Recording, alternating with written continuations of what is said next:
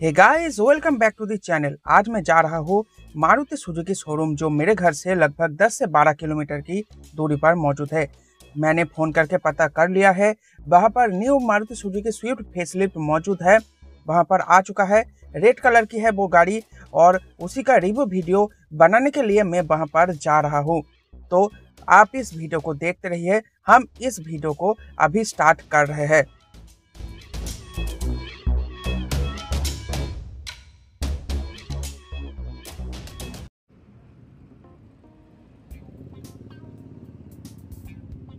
तो गाइस ये है Swift facelift V model new Swift front से कुछ ऐसी दिखती है। और मैं आपको बता दूँ, इस हॉट सेलिंग हैच का यही कलर सबसे ज़्यादा बिकते भी है, जो कि है रेड कलर फ्रंट में सबसे पहले इस मॉडल में हेलोजन सेटअप हेडलैम्प दिए गए हैं।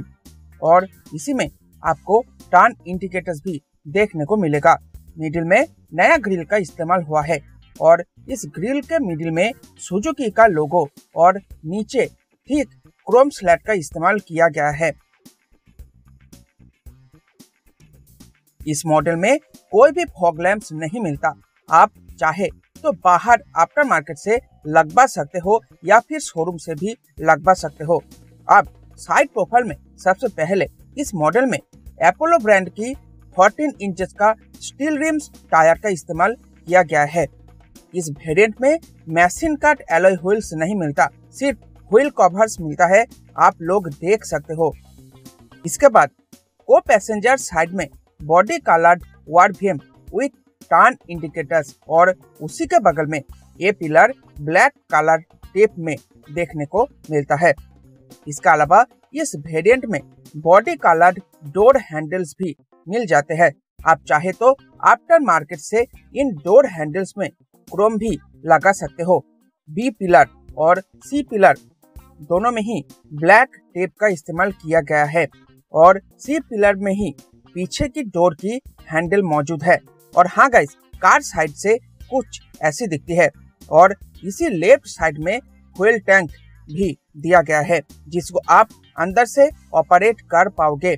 मैं बता दूँ स्विफ्ट में टोटल 37 लीटर की फ्यूल टैंक मिलता है।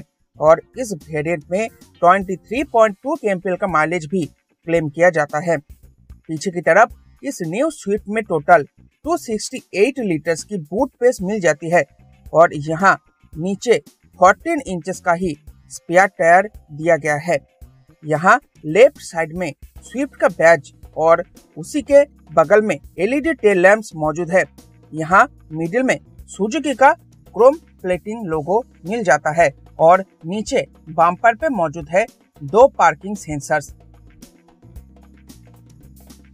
यहाँ रूफ में पीछे की तरफ़ नॉर्मल रूफ एंटेना और यहाँ हाई माउंट स्टॉप लैंप मिल जाता है, क्योंकि ये एक वी एक्स आई वेरियंट है, इसलिए आपको इस कार में वाशर नहीं मिलता, डीप फॉगर भी नहीं मिलता।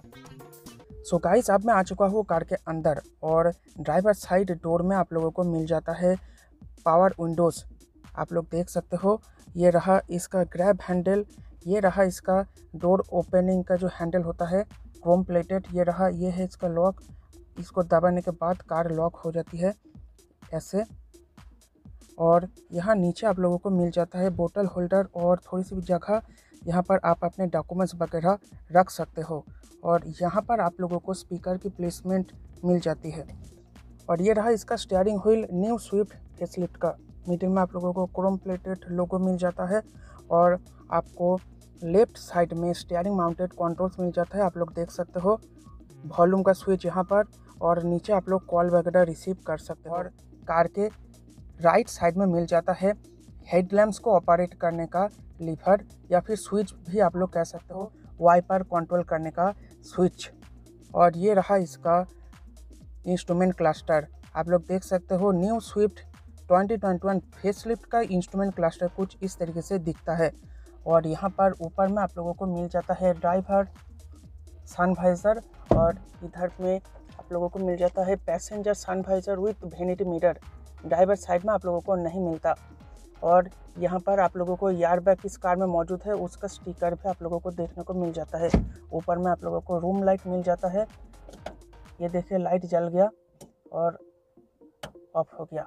और यहाँ पर आप लोगों को मिल जाता है आई आर वी एम अंदर से एडजस्ट करने के लिए। इस कार में आप लोगों को मिल जाता है मैनुअल एसी ये रहा इनका नॉब, आप लोग देख सकते हो। और मिडिल में आप लोगों को मिल जाता है टू डिन ऑडियो सिस्टम, कोई भी टच स्क्रीन ऑडियो सिस्टम। इस मॉडल में मौजूद नहीं है। ऊपर आप लोगों को मिल जाता है हैजर्ड लाइट का स्विच और राउंड शेप में या फिर राउंड डिज़ाइन में आप लोगों को मिल जाता है एसी के नॉब्स एसी के एसी के फैंस आप लोगों को मिल जाता है यहाँ पर। एसी एसी का जो भेंट्स है वो मिडिल में आप लोगों को राउंड शेप का मिलता है और साइड में आप लोग देख सकते हो आपको चौकोर शेप का मिलता है। और ये रहा इसका। और गाइस ये है एक मैनुअल कार आपको यहाँ पर मिल जाता है to, total five gears. Five gear और एक रिवर्स। और यहाँ पर आप लोगों को मिल जाता है यू एस बी ऑक्स का पोर्ट। ये आप देख सकते हो। और यहाँ पर आप लोगों को मिल जाता है ट्वेल्व वोल्ट का पावर सॉकेट। और ये थोड़ी सी स्पेस आपको यहाँ पर मिल जाता है। और ये रहा काप होल्डर्स। आप यहाँ पर काप वगैरह रख सकते हो। ये रहा इसका क्रोम प्लेटेड हैंड ब्रेक। ये रहा इसका हेडलैम्प लेवल एयर का स्विच आप लोग यहाँ से हेडलैम्प को लेवल हेडलैम्प को एडजस्ट कर सकते हो। और नीचे की तरफ़ आप लोगों को एक्सोलेटर ब्रेक और क्लच तीनों ही मिल जाते हैं। और एक चीज़ बताना भूल गया, यहाँ पर आप लोगों को ग्रैब हैंडल भी देखने को मिलता है। और गाइस ये रहा इसका ग्लाब बॉक्स जो ग्लाब बॉक्स ही है। कूल्ड ग्लाब बॉक्स नहीं है, नॉर्मल ग्लाब बॉक्स है।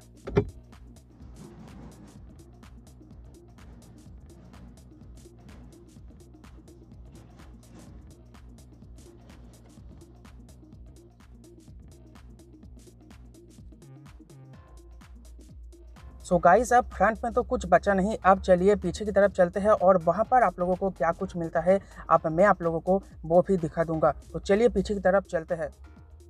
सो so गाइस अब मैं आ चुका हूँ कार के पीछे की तरफ़ और कार के पीछे की तरफ़ पैसेंजर डोर में आप लोगों को जो भी कुछ मिलता है, वो ये है। आप लोग देख सकते हो, ये रहा पावर विंडो आप लोग यहाँ से कंट्रोल कर सकते हो। ये रहा इसका डोर लीवर आप अंदर से इसको खोल सकते हो और ये रहा इसका लॉक इसे आप लॉक कर सकते हो।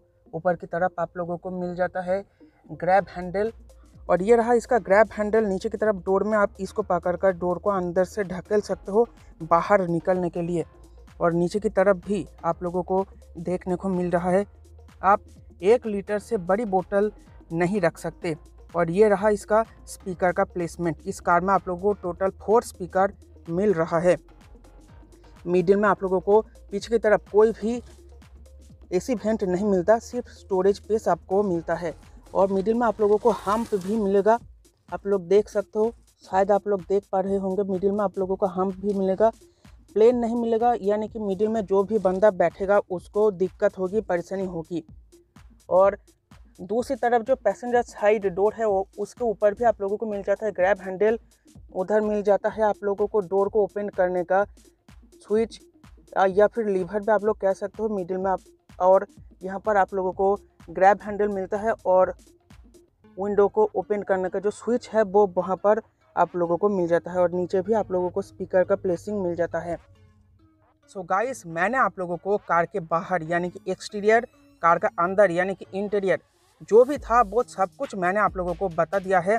अब सिर्फ़ एक ही चीज़ बाकी है, वो है इस कार का इंजन और वो मैं आप लोगों को अब ओपन करके दिखाने वाला हूँ। लेकिन उससे पहले मैं आप लोगों को बता देता हूँ, इस कार में आप लोगों को क्या क्या सेफ्टी फीचर मिलेगा। इस कार में आप लोगों को डुअल एयर बैग मिलेगा उसके साथ साथ आप लोगों को मिलेगा A B S with E B D और बाकी के जो भी सेफ्टी फीचर्स आप लोगों को इस कार में मिलता है इस वेरिएंट में मिलता है वो सब आप लोग साइड में देख सकते हो। Brake assist speed alert ISOFIX mounts, pretensioners and horse limiter seat belt driver and passenger seat belt reminder वगैरह वगैरह गाइस पीछे की तरफ़ आपको जगह थोड़ी कम मिलेगी।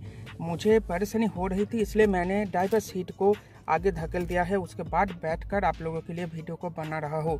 अगर आप लोग चाहो तो इस कार में तीन जन इजीली बैठ सकते हैं, कोई भी दिक्कत आप लोगों को नहीं होगा। तो चलिए आप इंजन को ओपन करके देखते हैं, इंजन में आप लोगों को क्या कुछ नया मिलता है। लेकिन इंजन को ओपन करने से पहले मैं आप लोगों को बता देता हूँ, इस कार में अब आपको मिलेगा 1.2 litre four cylinder dual jet petrol engine जिसको मारुति बलेनो में इस्तेमाल किया जाता है, जो स्विफ्ट का जो पहले वाला इंजन था, उससे सेवन एच ज़्यादा पावर जनरेट करता है। लगभग सेवन एच ज़्यादा पावर जनरेट करता है। टॉर्क आपको वही मिलेगा 113 तेरह का। और जो माइलेज है, वो भी आप लोग साइड में देख सकते हो। पहले के मुकाबले अब और भी ज़्यादा माइलेज क्लेम किया जाता है न्यू स्विफ्ट फेसलिफ्ट में। तो चलिए आप ओपन करते हैं इंजन को।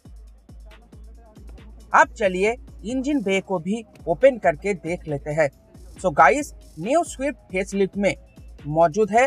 1.2 litre four cylinder dual jet engine जो बलेनो में इस्तेमाल किया जाता है। वही इंजन आपको अब स्विफ्ट में मिला करेगी, जो पहले के इंजन के मुकाबले लगभग 7 एचपी ज़्यादा पावर जेनरेट करता है, जो है 88.50 bhp और 113 एनएम का ही टॉर्क टॉर्क में कोई भी बदलाव नहीं हुआ है, सिर्फ़ पावर में बदलाव हुआ है।